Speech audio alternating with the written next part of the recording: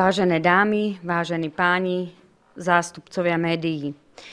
Dovolte mi privítať vás na tlačovej konferencii pri príležitosti projektu, ktorého cieľom je odstrániť chudobu.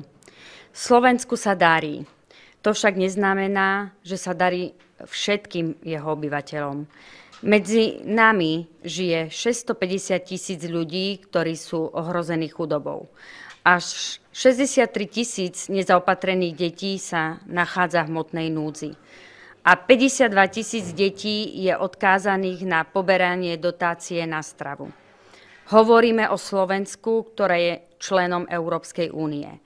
Nehovoríme o krajine, ktorá existuje niekde na periférii, ale o krajine, ktorá je členom OECD, teda klubu najrozvinejších krajín sveta.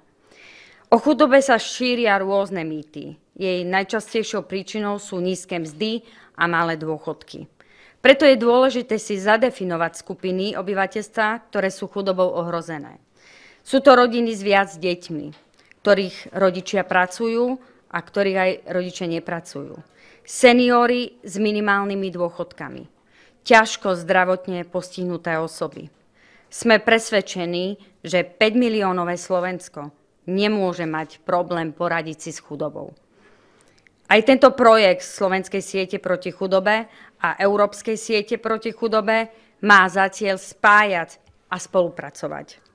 Sme totiž v zjednotenej Európe a ide nám predsa o to, aby sme e, ako všetci obyvatelia tejto Európy žili slušne.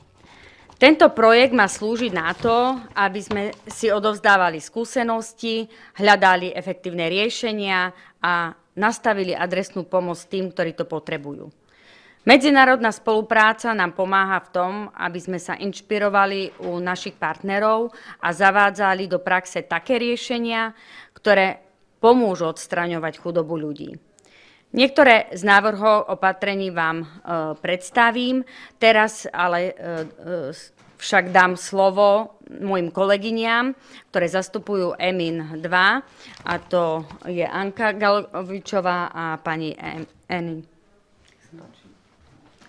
Dobrý deň, som Anka Galovičová, predsednička Slovenskej sieti proti chudobe a národná koordinátorka pre projekt EMIN.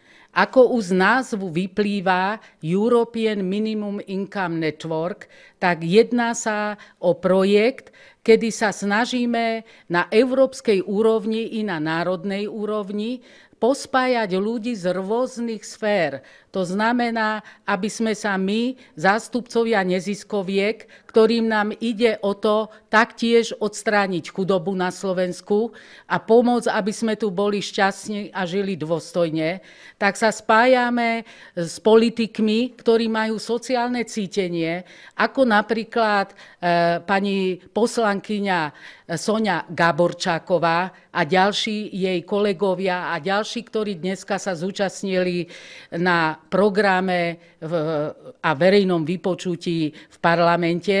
Taktiež ako sieťujeme sa aj s podnikateľmi, čiže stretli sme sa aj s podnikateľmi, ktorí snažia sa zamestnať ľudí znovu v polnohospodárstve na Slovensku a znovu, aby sme mali tú zdravú stravu a boli sebestační. Sieťujeme sa aj s predsedami a e, zástupcami samozprávnych krajov. Veľmi si vážime, že nás prijal pán predseda Bansko-Bystrického samozprávneho kraja, pán Lunter, pani predsednička Žilinského samozprávneho kraja, e, pani Erika Jurinová. A moc si vážime, že obidvaja sa hneď na úvod e, vyjadrili, že môžeme sa cítiť ako doma.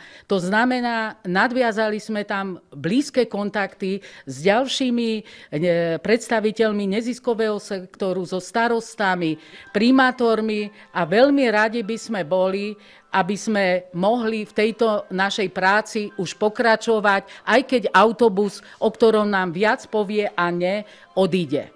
Ďakujem veľmi pekne. Okay. Good day, everybody. Uh, I'm, my name is Anna van Lanker. I'm the coordinator of the IMIN project, and I'm very grateful to Parliament for having us here today because I think that our stop here in Slovakia is a very important contribution to the success of our journey. Dobrý deň, prajem. Volám sa Anne van Lanker a som koordinátorkou projektu EMIN a sme veľmi potešení, že sme boli prijatí na pôde Národnej rady Slovenskej republiky, ktorá je dôležitou zastávkou na ceste nášho autobusu. The European Minimum Income Network is a project that wants to gather support, that wants to advocate, that wants to raise the voices in public opinion in support of adequate minimum income schemes in every country. Now, the European Union has recently declared to support the European Pillar of Social Rights, of which the right to an adequate minimum income and access to social services is one of the fundamental social rights. But we all know that in reality, things are not like this, not in Slovakia, but either in other countries. Still, a lot has to be done to make this a reality. Z náš autobus, celý náš projekt EMIN je zameraný na to, aby sme zvýšili povedomie ľudí o, o tom, že uh, napriek tomu, že všetky členské štáty Európskej únie pred niekoľkými mesiacmi prijali um, systém uh, sociálnych práv pre každého uh, občana Európskej únie pod názvom Európsky pilier sociálnych práv, uh, tak napriek tomu je realita dnes inde. Jedno z tých práv hovorí o tom, že každý občan Európskej únie by mal mať zabezpečený minimálny primeraný príjem a dostupné sociálne služby, ktoré mu toto právo garantujú. When we were traveling in Slovakia, we were very happy to see that the country is doing well. We see that its economy is growing, that the development is okay. Uh, as the MEP or MP already said, it's not doing so bad in terms of OECD ranking. But the question that we have to ask ourselves is everybody profiting from this development? Keď sme prechádzali Slovenskom na našich zastávkach za 4 dní, tak eh, sme skutočne videli, že Slovensko urobilo veľký pokrok, eh, rozvíja sa ekonomicky, eh, má nie zlé postavenie v tabulke krajín OECD. Otázka teraz je, či naozaj je tento rozvoj, tento pokrok benefitom pre všetkých, či, rovna, či všetci občania tejto krajiny vedia zbierať plody tohto dobrého ekonomického rozvoja. We have visited regions that are very poor. We have met with people, with communities who are poor, like Roma communities. We met with people with disabilities who have difficulties. But we also know that there are poor people living in this country who do not have access to decent lives. We also know that some young people are in trouble. Now, what is very joyful to see is that in Slovakia, more and more politicians, public authorities work together with NGOs who provide really good services like homes for the homelessness, food banks, uh, free for free laundries, all kinds of services that are important for families in a crisis. But we think there should be something extra. We think that every family, every person should have access to a decent income that allows it to participate in society and to live in dignity. Sme presvedčení o tom, že každá rodina, každý jednotlivec musí mať prístup k dôstojnému minimálnemu príjmu, ktorý mu umožňujú dôstojný život a, a plne a sa zúčastňovať na živote spoločnosti, na živote jeho komunity. Keď sme išli Slovenskom, videli sme, že na Slovensku sú napriek týmto znakom dobrej ekonomickej kondície tejto krajiny komunity Rómov, komunity ťažko zdravotne postihnutých, komunity, ktorí, ľudí, ktorí žijú na hranici materiálnej núdze. To znamená, je tu stále čo zlepšovať. Sme veľmi radi, že tu napriek tejto situácii existujú ľudia, politici, organizácie, ktoré týmto skupinám, týmto jednotlivcom pomáhajú.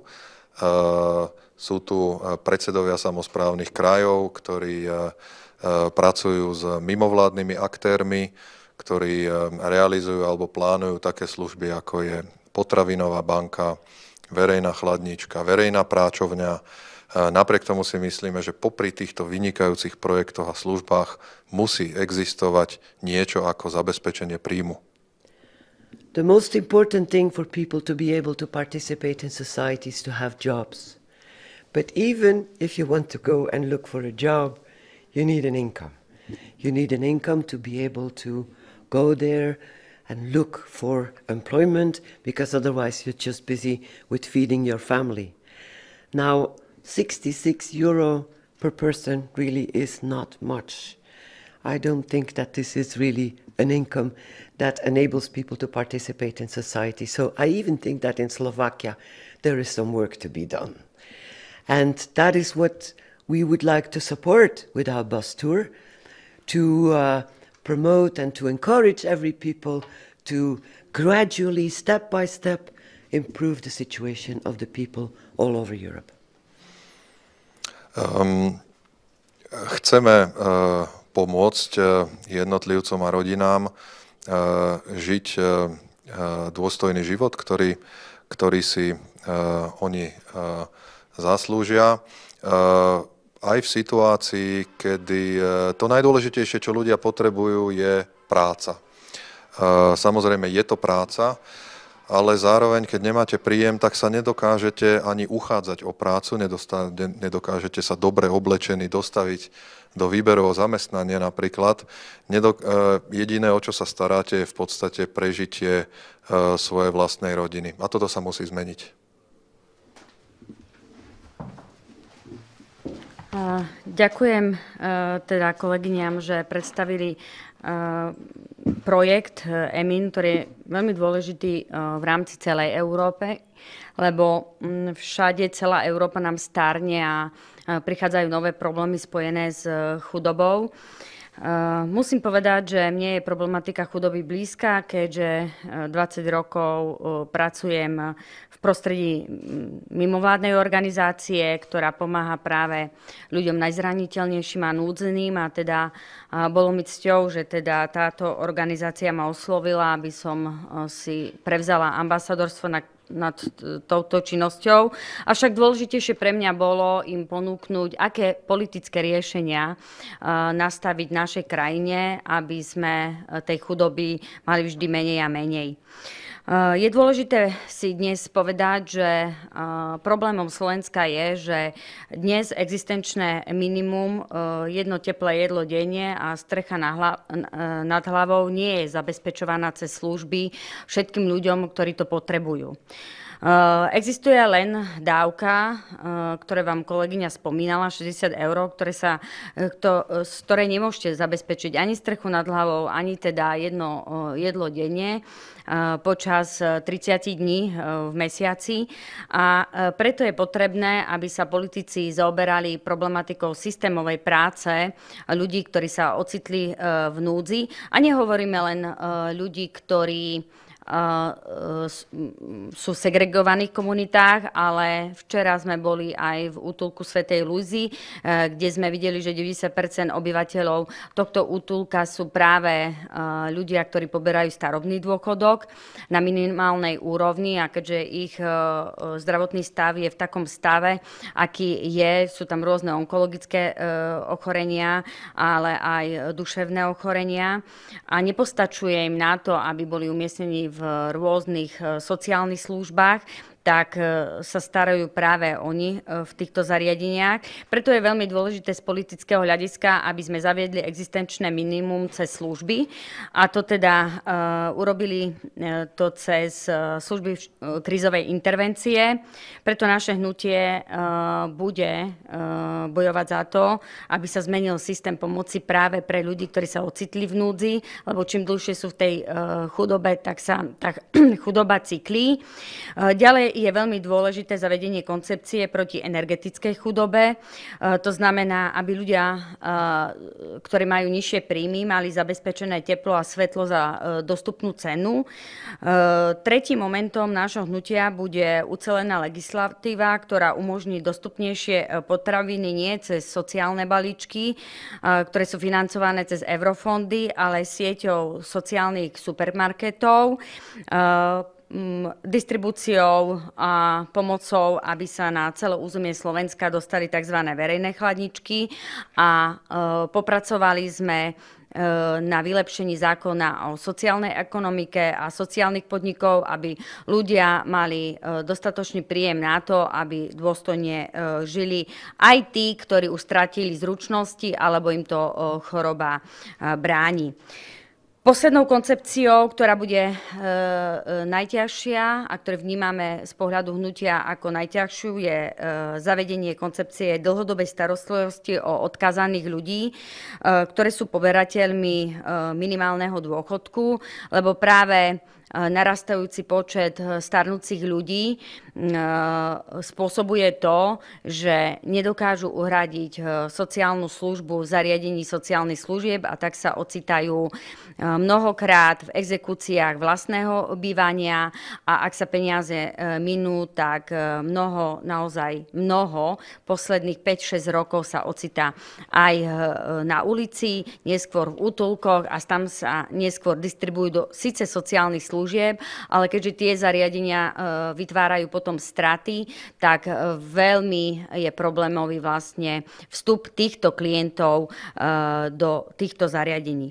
Sú to štyri priority, ktoré je potrebné urobiť rámcovo, legislatívne a zaviesť ísť priamo do regiónov. Máme županov v Trnave a v Žilinskom kraji.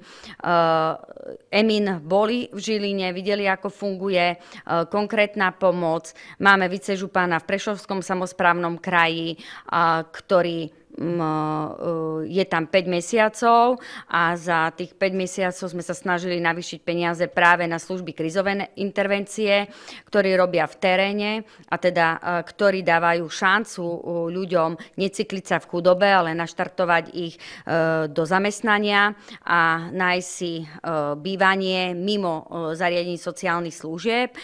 Sú to kroky, ktoré sú prepojené s veľkou politikou. Ak chceme naozaj očakávať, že o ľudí v takej dobrej krajine, kde sa ekonomicky darí, sa chceme postarať, jednoznačne musíme zmeniť koncepciu pomoci ľuďom, ktorí sa ocitajú v núdzi. A čo je dôležité, aby ľudia neboli v tej chudobe dlhodobo, lebo je veľmi ťažko potom sa vymániť práve z tohto područia. To je z našej strany pre toto Slovensko správa, že chceme robiť prospech ľudí, ktorí to potrebujú a spoločne aj s organizáciami, ktoré majú srdce práve pre takéto činnosti, veríme, že sa veci posunú a že naša krajina sa odrazí nielen v ekonomike, ale aj v kvalite života ľudí. Takže poprosím otázky, ak sú. Štefanovičová teatri.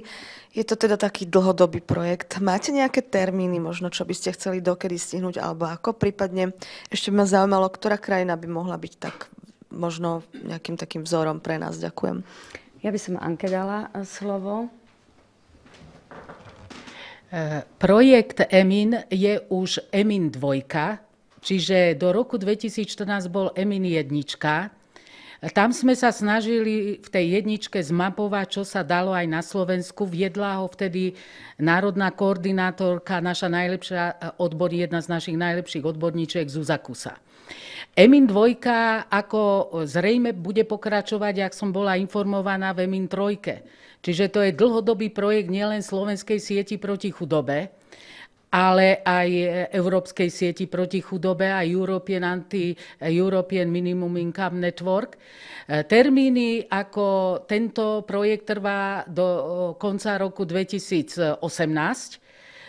bude veľké vyhodnotenie v Bruseli, ale my už budeme sa, budeme sa snažiť nadviazať na to, čo sa urobilo za 4 dní, pretože ako to bolo dneska aj v parlamente povedané, veľmi veľa práce je, aby sme pomohli aj starostom a primátorom na Slovensku zmeniť myslenie ľudí, ktorí ako majú to čierno-biele videnie reality, že vlastne e, jedni nepracujú a dostávajú a prečo tí druhí, čo pracujú, musia sa deliť. Takže toto treba na, naštepiť tú dôveru, zmeniť tú kognitívnu mapu v hlave, že keď pomôžeme tým e, na okraji spoločnosti, tak sa to, nám to mnohonásobne vráti duplomu detí.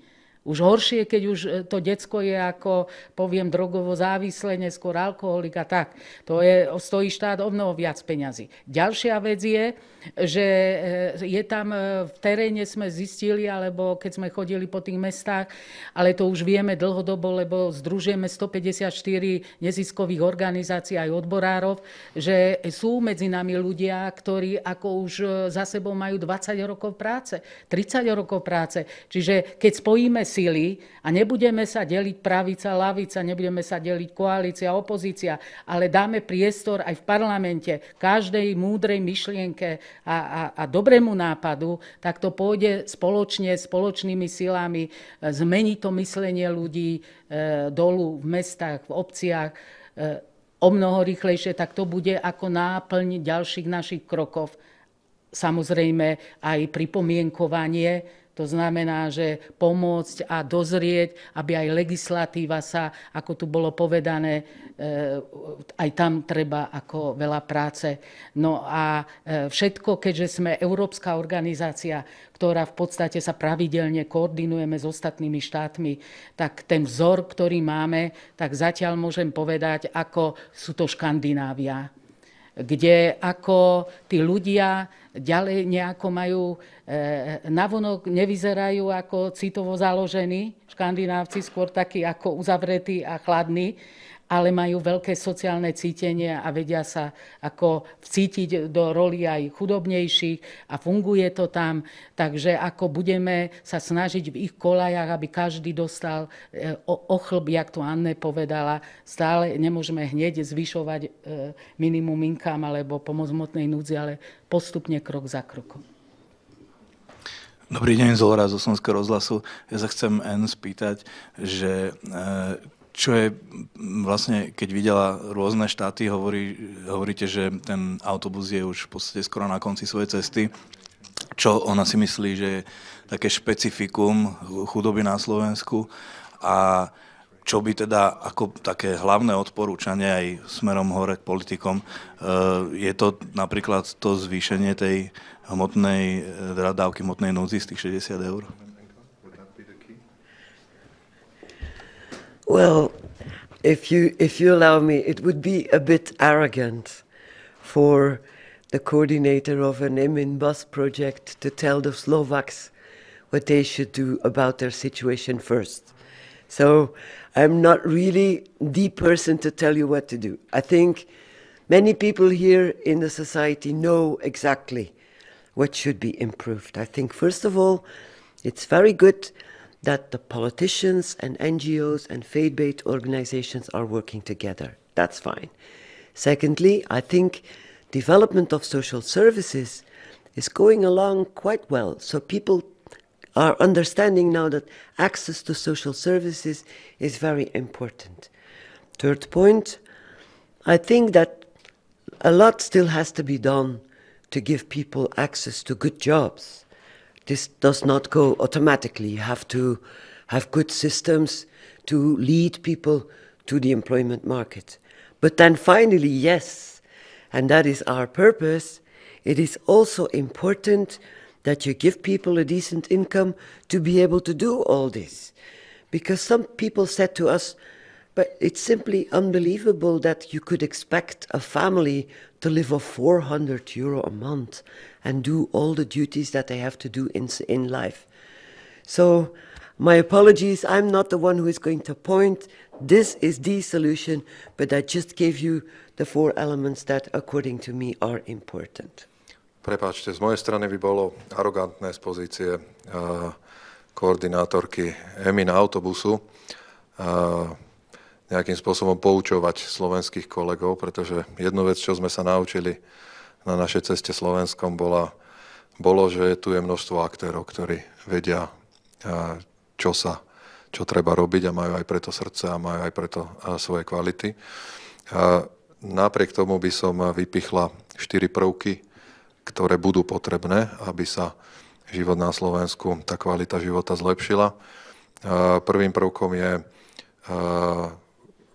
dostať dobrú spoluprácu na úrovni politikov, mimovládnych organizácií, nábožensky motivovaných alebo založených organizácií. Tu sme videli, tu sme videli dobré príklady vo viacerých krajoch. V druhom prípade videli sme príklady služieb sociálnych, ktoré, ktoré dobre fungujú. Zdá sa, že ste nastúpili v tejto oblasti dobrú cestu. Tretím príkladom, tretím prvkom je samozrejme dať ľuďom job. Dať ľuďom dostatok dobrej práce.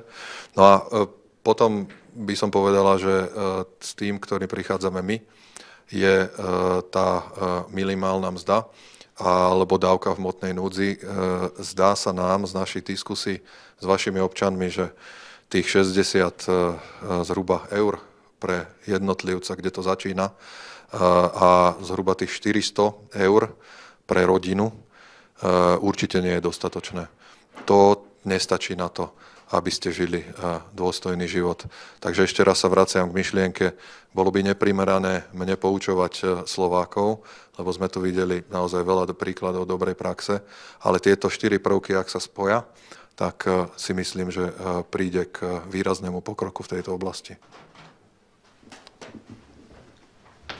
Ďakujem pekne, že ste prišli a verím, že sa veci budú posúvať na Slovensku dopredu. Ďakujem pekne.